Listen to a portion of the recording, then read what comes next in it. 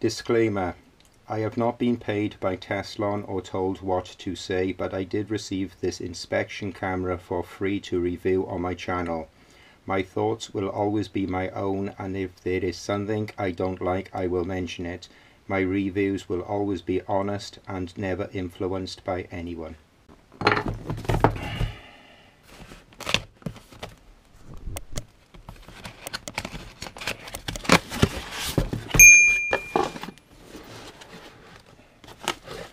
One inspection camera, one 5 meter dual lens camera, USB charging lead, and two very handy clip-on devices for retrie retrieving stuff. One little hook that will look onto the end of the camera. And one magnetic one I'm sure these will come in very handy.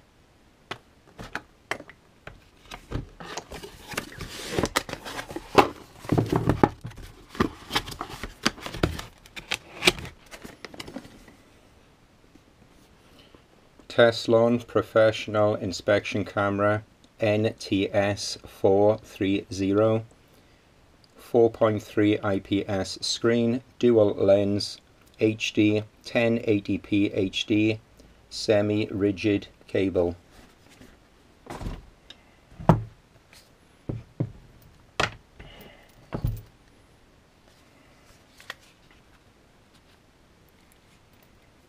That is your USB charging port and that is where your U um, that is your USB charging port and that is your SD card for recording and taking pictures Mine didn't come with any SD card. I'm not sure if yours will.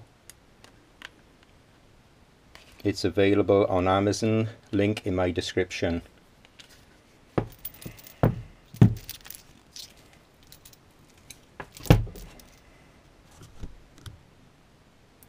When connecting the camera, there is a little groove on the top, as you can see.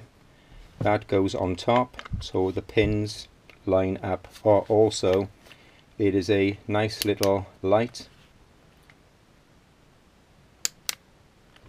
that is very handy.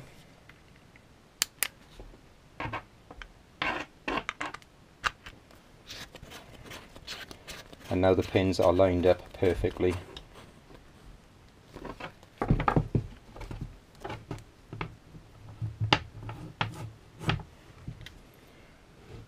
hold the power button for a few seconds until you see the Teslong logo.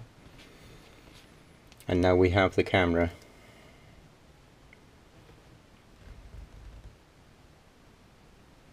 Picture quality is very good.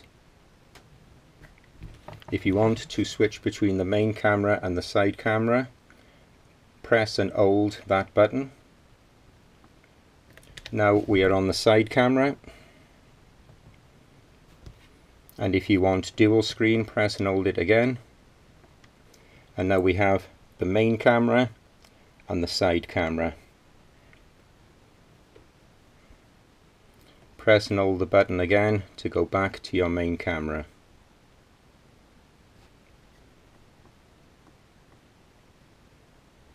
If you press that button quickly it will take you to your recordings but as you can see I don't have an SD card. Your menu button for your settings. There we have resolution language settings data tag audio recording sound time settings auto power off format for your SD card, reset system, storage space and version. Click OK. That will take you into the menu where you can select what resolution you want. I'll leave mine on 1080. Language settings. Obviously I'm not going to mess around with this but there is different languages for you to use. Data tag, on or off. Audio recorder on or off. Sound on or off. Time settings. This is where you obviously adjust the date and time.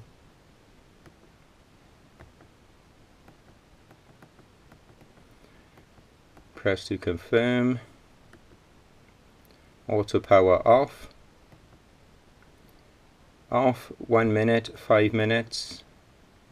I'll leave it off format that would be if you had an SD card or TF card I should say I don't have one so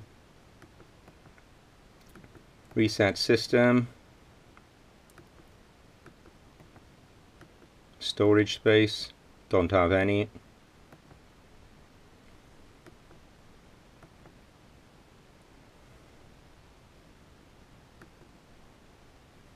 That flicks your side camera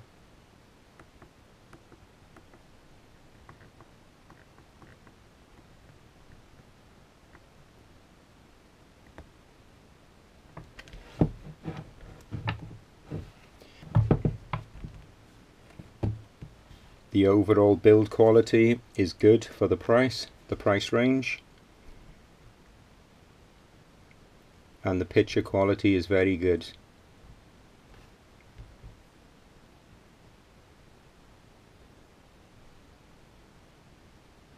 It has two high definition cameras mounted on the front and the sides.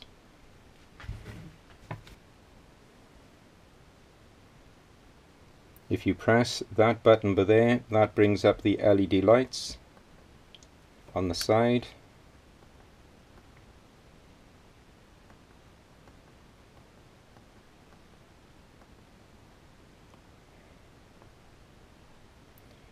And also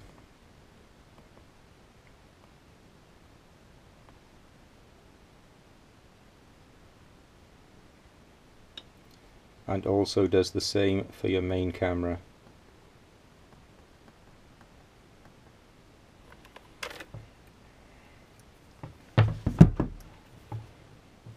The lead is quite the lead is flexible but stiff enough so you can negotiate it around bends etc.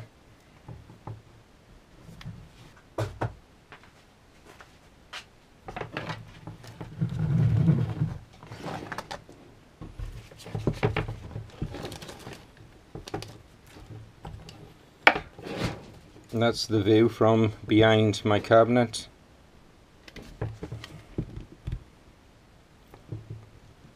That's the second camera view.